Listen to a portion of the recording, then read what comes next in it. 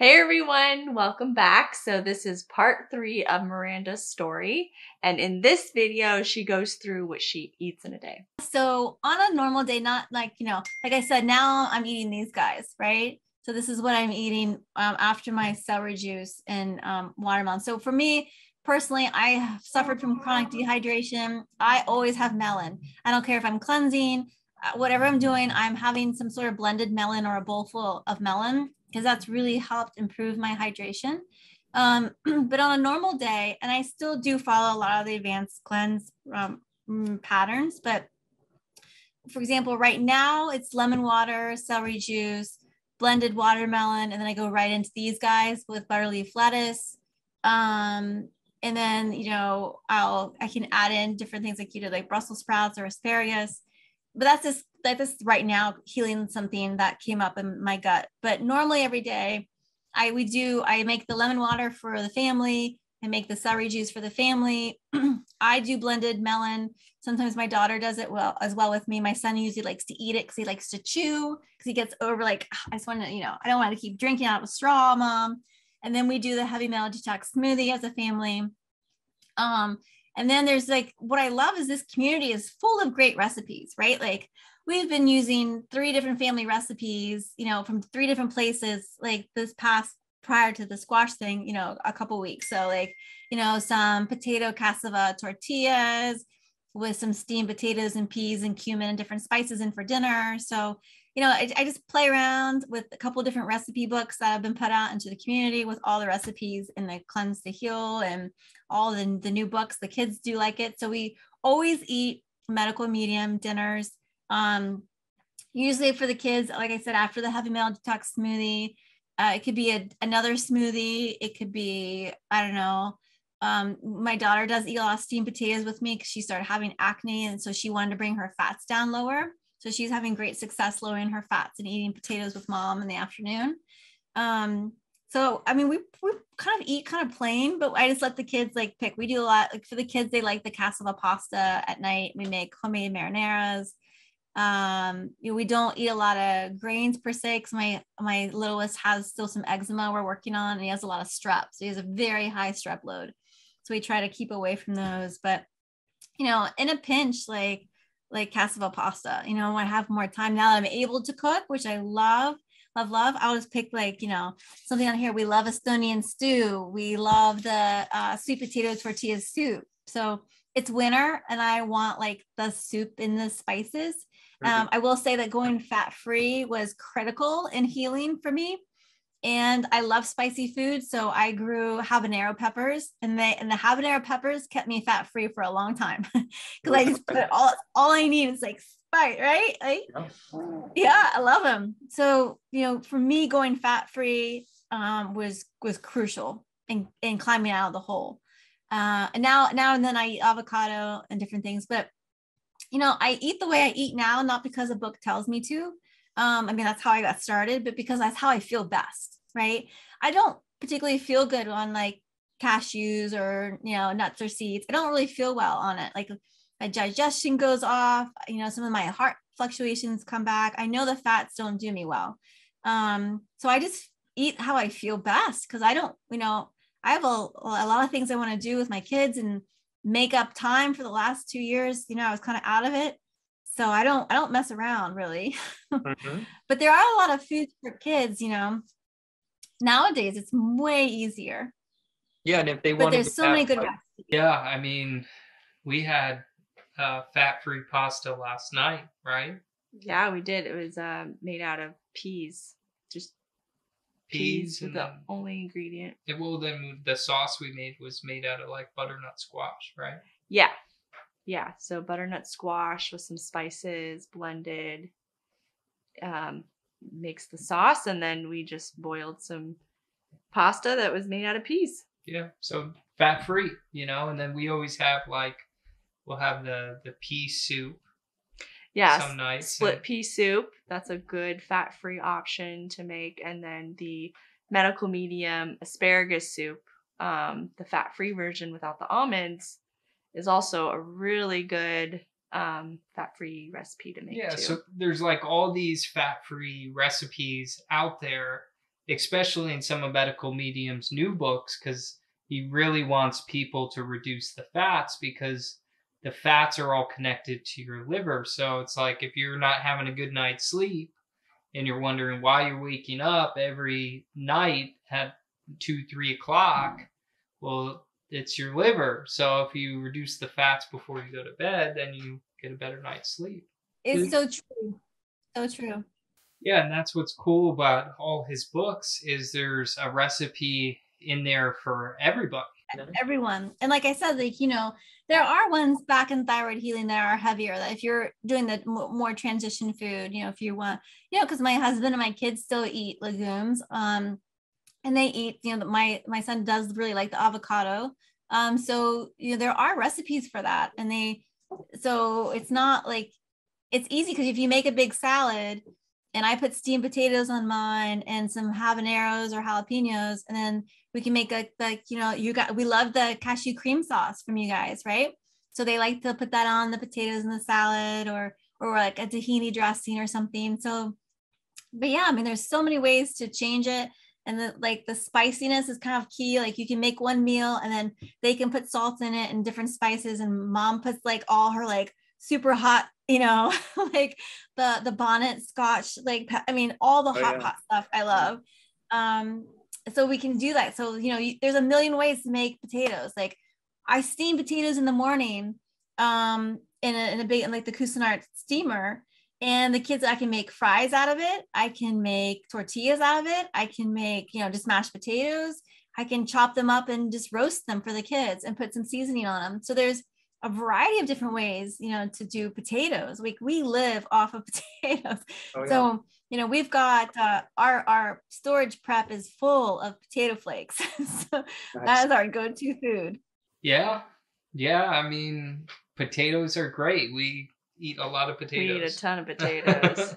a ton. Potatoes and squash now. After doing that squash cleanse, it's like and squash is in season. We're you know all about the squash as well the winter squash yeah. winter squash mm-hmm. yeah yeah and like potatoes and squash they help especially when you're first starting out on medical medium because you have that problem because you're switching from like this this high fat high protein diet heavy heavy food to eating all this light food that moves in and out of the your your system so quick that you just never feel full so or you get hungry a lot sooner. Yeah. Yeah. So like with with us when we were first starting, we uh we had that problem and then we found that we could eat potatoes and we could eat squash and that stuff would satisfy our right tummies. And then we could you know, we could go a longer period of time um feeling full. Like seasonings, right? Like yeah. we used to eat, we used to eat meat, and when we'd cook meat, we would always season the meat. We never just like eat the meat as right. is. It's all about the flavor. Yeah. So like when you're what you're eating with yeah exactly whatever you're eating, if you can spice it right, then you can make it taste like anything that you used to eat. Yeah, and once you give it up, we don't look back and wish we could still eat those things. Not all. I don't have any cravings for meat. I mean, I, I definitely went through cravings in the first two years. Absolutely. And even when I started doing the cleanse to heal, the, like the a lot of the advanced 369 recipes, the cravings pop back up. But but we know why, right? We're releasing those fat cells and those toxins that were during that phase when you were eating those foods. So it's like, and the viruses are like, yes, you should have that. Like, we want you to eat high fat because then, you know, I don't get bombarded by oxygen, you know, and die. So you should definitely, you know, thicken that blood up.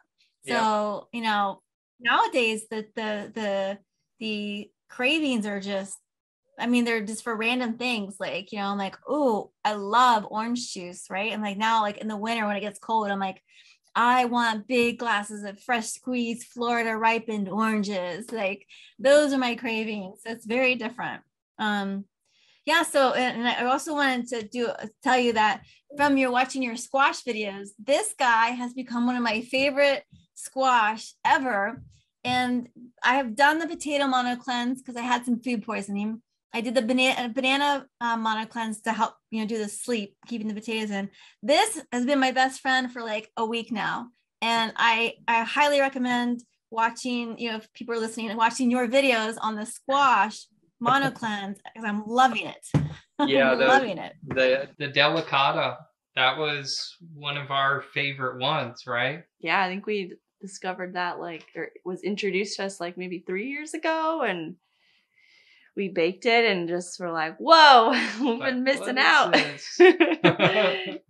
yeah, someone at uh, the farmer's market told us about it and told us you should try it. But you know, everybody is used to just eating kind of those those popular ones like the butternut right. squash and the spaghetti squash and no one really thinks of these other squashes because they don't carry them in the grocery stores. Yeah. But yeah, delicata was like one of our favorites, and then uh, this year we liked the kabocha. That was like one of our our new favorites this year, and we had had it a couple years like, years ago. Yeah, yeah, we tried the kabocha medical medium squash soup. Didn't really care for it then, um, but now you know taste buds have adjusted, and we love it. Yeah, yeah, it's definitely uh, the favorite of the year. I'm glad you enjoyed it. Yeah, you guys gave me some great inspiration on that. And then just, you know, just I know with you, Ben, too, like you've had digestive issues, you know, that you've mm-hmm. healed. Mm-hmm. And um, so for me, I was going through, I got hit with some other whatever was going on out there in the world and uh having some digestive issues pop back up. And I said, I know I'm gonna give that whole squash thing a try. And it's been like within a day, it was stomach was settled, bloating was gone, no pain on nothing. Um, and so I'm so addicted to it. I don't want to stop because I feel so good on it. It's like the perfect blend between the the sweetness of a banana and the starchiness of a potato. You know, because like oh, when I ate the bananas, I missed like the grounding of the potato. And when I ate the potato, I missed the sweetness of the banana but these guys are just the perfect amount of sweet and starch to kind of mm-hmm. like have no cravings you know? Maybe if i went as long as you did i'd be like all right i got I gotta have something else. Well yeah i was having trouble on the liver cleanse because yeah, i we just did it. Yeah i was just on the mono cleanse like a week before we started the liver cleanse and the mono cleanse was all like winter squash and asparagus and brussels sprouts for 28 days straight. And then we took like that week off because I think it was Thanksgiving. I wanted to. And then your birthday.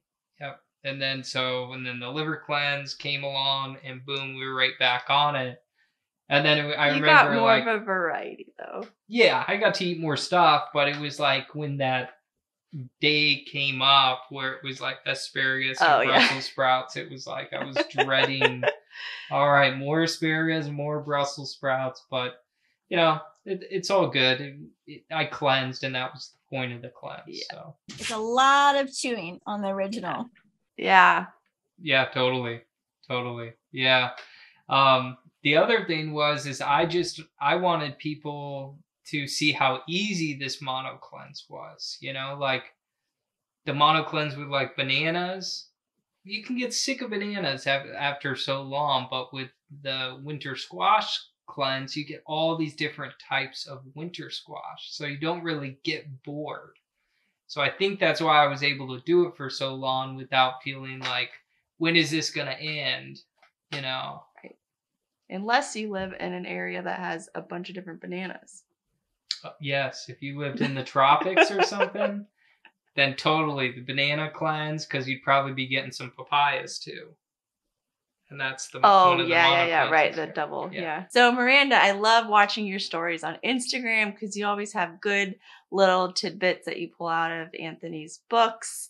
And I know you haven't been on it lately because you um, have no phone. Have no, have no phone. um, but where can people find you on Instagram when you're back up and running on your stories? Yes, so um, Miranda Compassionate Healers. So that's my uh, I going through school. I did finally end up getting a master's in nutrition. So I did start as a nutritionist. So that's what I do nowadays. Um, so that's the that's the header for my for my you know my business name the Miranda compassionate underscore compassionate healers. And I will be back on. Like I said, I am getting a new phone starting January.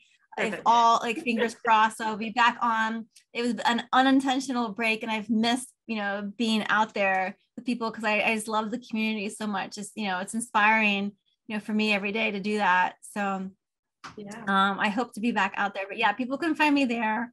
And then um, one day I'll have a website, but it's it's still there. Well, it's still working a work in progress. Yeah. Yeah. yeah. Well, it's good that you're putting yourself out there because I know there's a lot of people that are chronically ill and going from doctor to doctor, from trend to trend, like we did, and they're getting nowhere. They're getting no answers. They're getting no help. So it's good that you're putting yourself out there and you're willing to help these people because you have such a, a, a powerful story and I think that uh, your story goes a long way, and I think people can relate to it. Yeah. Thank you. Yeah, it's neat because I have got one foot in the um because the school that I went to obviously was not a medical medium school. I so wish it was, right? So I have to unlearn things it's neat because I, I get the the pleasure of introducing people to medical medium information who've never heard of it before. They're just like, I was coming to a nutritionist because I've got high blood pressure. And I'm like, oh, wait until you see this. like, you are in the right spot, right? So it's interesting because I do, people ask me, how do you how do you get people introduced to medical medium information? And I, I tell them I actually start with the liver rest, um, the uh, uh, thyroid healing and some of the liver rescue recipes. And I just start here, here are some, you know, we're going to take these foods out for a while, see how you feel. Here are some recipes, try these. And they're like, these are really good. I'm feeling really good. So I usually start with the food and, and then they start and they get a couple of successes under their belt. Right. And then I start to introduce like more and more information. So it's different because, you know, working in a community that's a lot, a lot of people are outside of, had never heard of Anthony. I'm like, I'm so grateful and thankful that uh, someone told me. Right. And so I get to kind of introduce people who haven't heard of the information. So that's that's exciting part. Totally. Mm-hmm. Totally. Well, do you think that there's anything that we missed, or is there anything else that you want to tell everybody? I could go on all day. So I'm sure it's so hard to say. I mean, I will say that, you know, when if you are a type A personality and when you're starting to get some recovery under your belt, don't don't jump back in and sign up for everything again because that was one thing that I had to like go back and forth with of like I'm going to commit to all these things again. And it really you know the second time you know this I feel like it's like my second or third chance at life again right? It's just like take the time to enjoy the peace of life. Like I feel like in the world today everyone's we're all so anxious and what, what's going to happen what's the world going to be like. But just make sure you take the time every day to find that joy um, and every day because it's still there. The beauty is still around us and it's still there for us. It never left right? Um, you know wherever your focus is your energy goes. So just making sure you, you stay in that positive light. And i so one at one point in my darkest dark dark moment of healing somebody said to me don't give up before the miracle. And that became my motto so every hard day or every hard hour or every hard minute, I would tell myself, don't give up before the miracle. It's coming. It's coming. Don't give up before that happens, Miranda. You, you got this, you know? So I would just like to impart that on people who are struggling. You know, don't give up before the miracle. It is happening and it will happen. Mm-hmm. Mm-hmm. Yeah, that's that's a really great message for everyone out there, especially the chronically ill. Um, you know, everyone has different symptoms, a different story, and it's really great to hear your story, even though you had to suffer. Um, but you know, it's brought you this far, and it's it's important for others to understand that everyone's healing timeline is so much different. Like Ben's story is one story. Your story, you suffered from baby you know, throughout your entire life.